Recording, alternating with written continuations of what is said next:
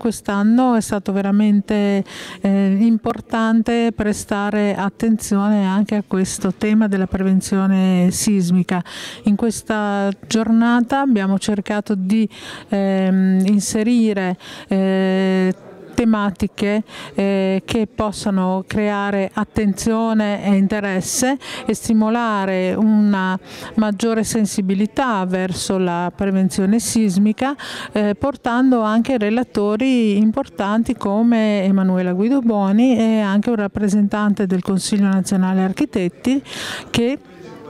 ci hanno illustrato questa importante iniziativa che è stata messa in campo a livello nazionale e che trova un'applicazione a livello eh, locale.